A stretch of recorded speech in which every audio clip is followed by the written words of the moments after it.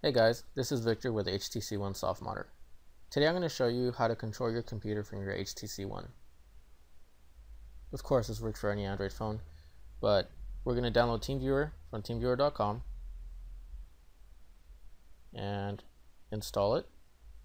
You can use other programs. There's uh, LogMeIn and SplashTop 2 HD, but TeamViewer is the only free one, and it's what I use. Okay, we're going to select install to control this computer later from remote. You don't have to, but this lets you create a TeamViewer account and add all your computers to it. So you can have a, always a list of your computers and control whichever one you want from your phone or from any other computer if you log in. Choose personal and I like to show advanced settings in case there's any toolbars or adware that it tries to install. For example, I don't need this Outlook add-in, so I'm going to disable it. And click finish and it will install. It takes a minute.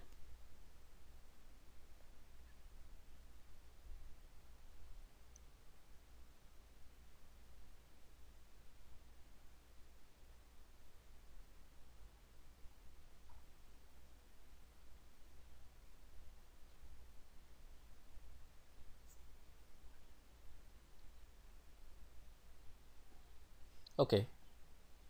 Now, for setting up unattended access, if you click next, it'll let you name your computer and create a password for it so you can add it to your TeamViewer account that I mentioned earlier.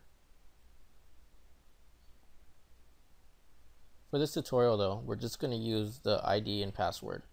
You can change the password if it becomes compromised, but that's it for now. Let's switch to the phone.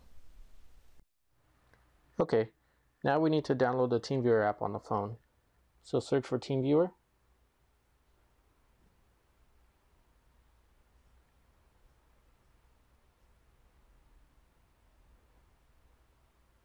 And download it.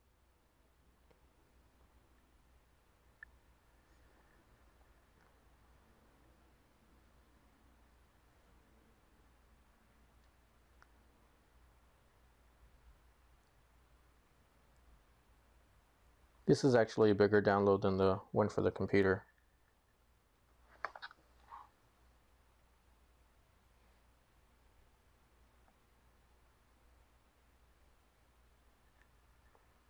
Okay, when it's done, open it. Skip the little tutorial. Okay, and here you type in the TeamViewer ID from your computer which is that nine digit number.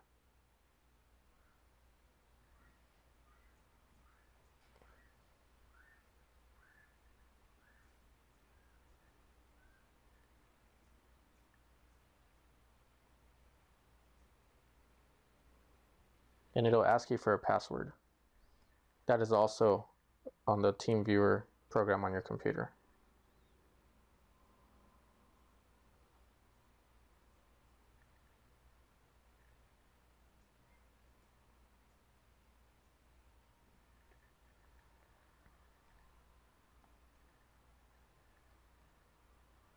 It'll take a minute to connect.